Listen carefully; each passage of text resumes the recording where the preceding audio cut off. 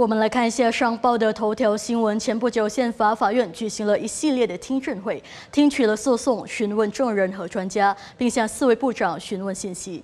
今天，宪法法院开庭审理裁决有关2024年总统和副总统大选争议结果。今天，宪法法院宣读了两项裁决，即关于一号案件阿尼斯与穆海明搭档，和二号案件甘查尔与马福特搭档的请愿书。宪法法院发言人法加尔于周五上周五在雅加达中区的宪法法院大楼表示，该两项决定在同一个法庭、同一个大会上合并。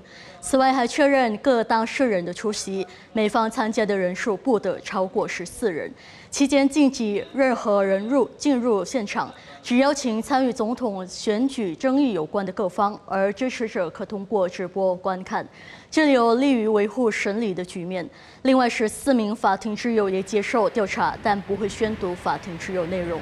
东爪省马多拉的图努焦纳大学学者苏罗金表示。总统选举争议必须基于宪法法院的公正性。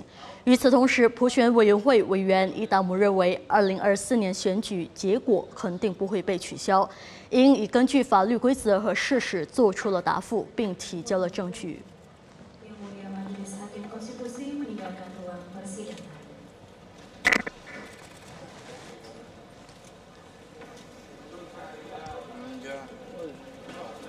Jelajahi cara baru mendapatkan informasi. Download Metro TV Extend sekarang.